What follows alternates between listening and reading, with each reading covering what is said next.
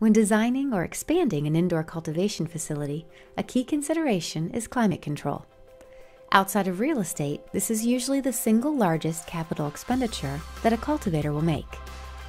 Think of climate control as the brain of your operation. A hydronic cooling system offers many benefits, making it an ideal fit for facilities of all sizes, and for cultivators interested in energy efficiency and water conservation.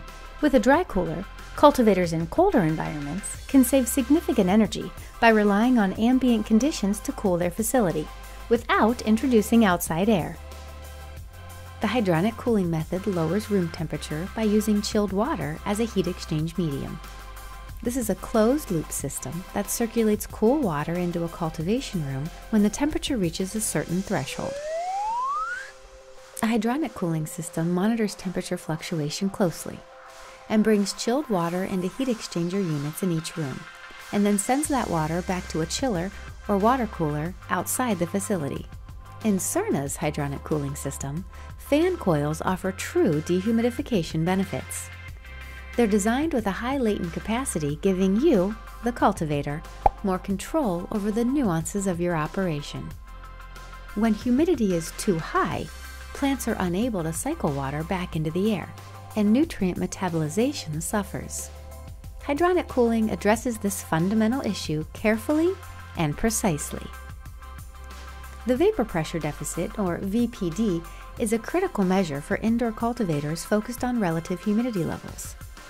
Managing those ratios is very important, and a hydronic cooling system provides easy manipulation of both water temperatures and fan speeds, resulting in low energy consumption for your dehumidification needs. Better yet, using a hydronic cooling system, facilities may collect all condensate produced by the process. That water can be used for irrigation. This is a very efficient system for maintaining temperatures too. The compressor engages only when water temperatures rise to a certain point, thus turning on the chillers or dry coolers and allowing the circulating process to begin anew. And because water has a higher heat capacity than air, this means you can move more heat around while consuming less transport energy than with ducted air conditioning systems. And because the very process of cannabis cultivation creates heat, the hydronic cooling system is ideal. With its closed loop structure, this system ensures separate cultivation rooms in a particular facility are addressed with precision and utmost security.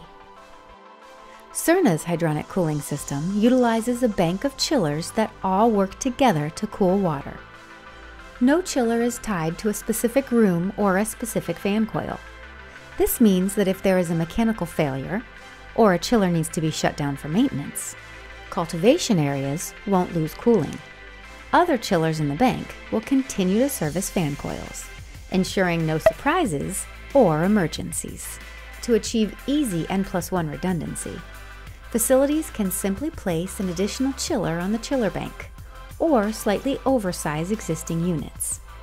To compare, the only way to duplicate that level of redundancy with a typical HVAC system is to put two units everywhere you need one, which is neither feasible nor affordable.